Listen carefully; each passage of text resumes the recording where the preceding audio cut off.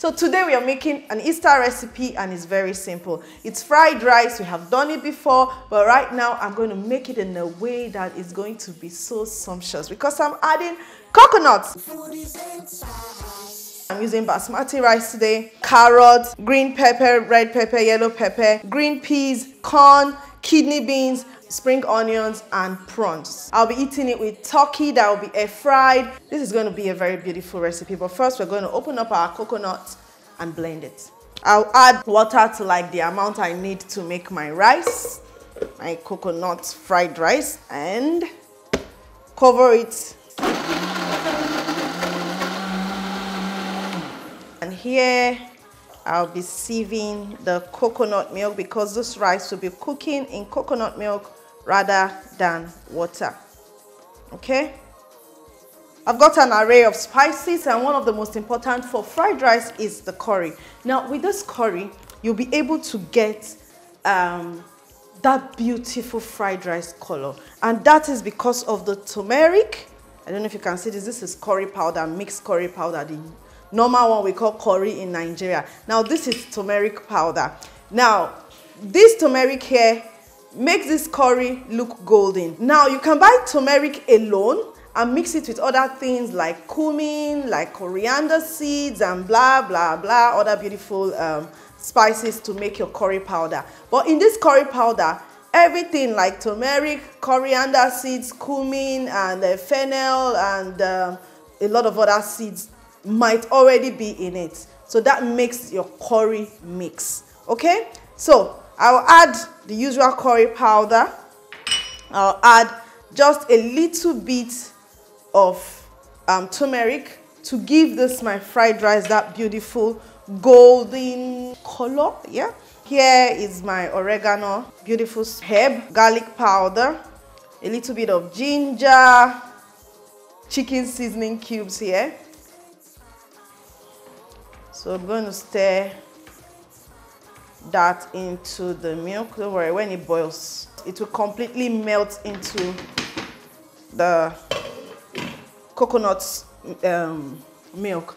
I will just cut a bit of onions and throw it in there for the onion flavor.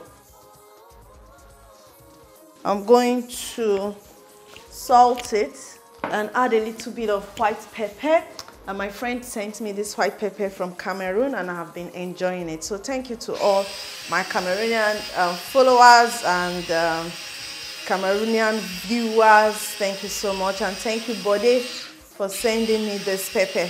It's so nice. So this is white pepper, really.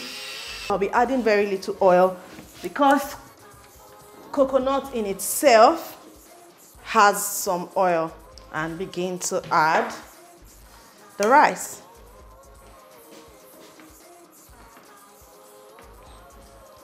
Make sure you test. This is good. Cover it and allow it to cook till done. You're not doing anything here again. My turkey is here and I'll be rubbing it with this paste. But before I rub it with this paste, I'm going to season it with some salt. Now this paste I'll tell you everything I have in it. I use it for one of my videos um, making turkey with it. Um, so I'm going to show you now how it's done. Processed pepper, onions, carrot, garlic, chives, seasoning. Drizzle a little oil. Now it's time for me to add some white pepper to this and then my paste. Now I've just showed you everything in that paste. You can try it out and um, tell me what you think. But um, that turkey that we made with it was really nice. That's why I'm deciding to make it again. So just paste it on your turkey or chicken or fish. It goes with anyone. I'm going to place it in my air fryer. I'm going to cover it. Okay. And 180 degree, I'll cook it for 25 minutes. While it's cooking, we start working on the vegetables. I have green peppers, yellow peppers, red pepper, carrots, string beans, sausages all cut here. Uh, my turkey is cooking well. I flipped it in a halfway. I flipped it and this coconut rice is ready. It's actually ready.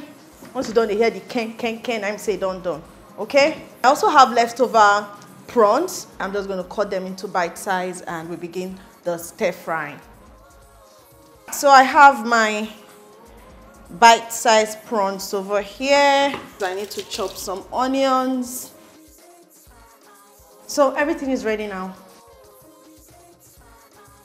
I have all that paste caramelized into the turkey. So turkey is ready. I'll just, I have a little bit of oil in there. I'm going to add very little onion, the garlic powder, the ginger powder, some leftover chicken that I cut down.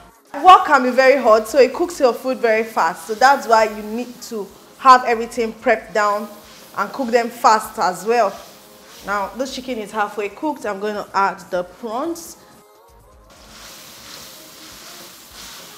Now that my prawns is looking all reddish or pinkish, I'll go in with my chicken sausages.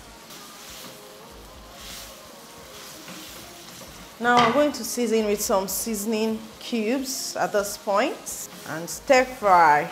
I'll add my onions, the remaining onions. Now the string peas will be next because it's raw, it's not been cooked or blanched. One part of my carrots will go in next. I like crunchy carrots, so I'm reserving the rest for later.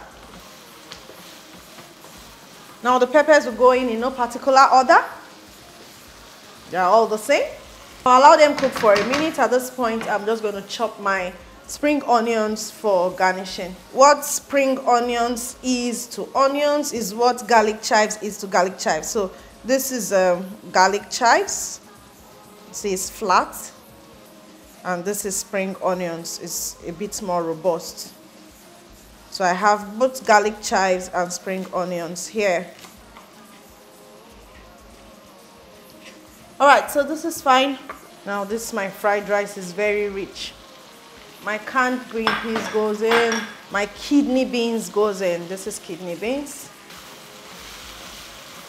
now at this point i'm going to reserve some of this this is what you should do so when you have some visitors later you can just go take some rice take some of this stir it in add your corn and serve them okay don't do everything together except you are all, as you are sure you guys are going to eat it within a few hours.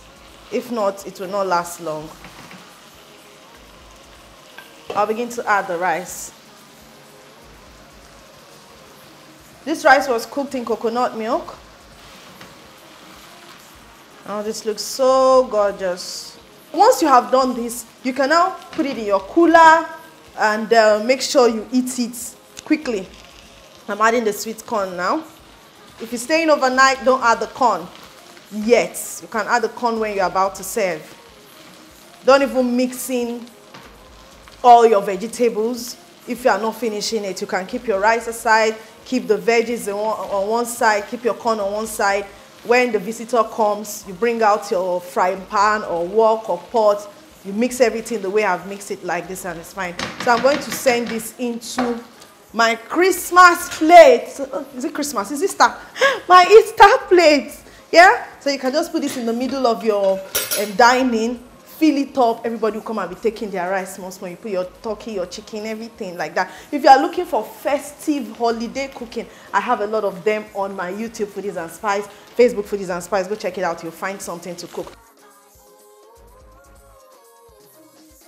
This my rice is, is tasty already. It's very yummy It's um what's the word you see if you love coconut rice you love this better because this is coconut fried rice. Everything just enter. Every spoon is yummy. I feel the crunch of the well cooked vegetables not overcooked. It's really good.